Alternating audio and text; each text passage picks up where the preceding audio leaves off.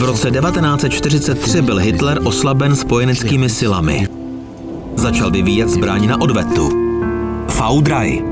Podzemní nacistický vojenský komplex jen pomalu odhaluje svá tajemství. Místo, které mohlo změnit svět. Lidé říkají, že tam nejsou žádní mrtví. Ale je jich tam hodně. Kdybyste věděli, kolik jich je.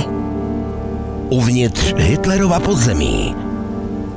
Pátek ve 22.05 na CS Mystery.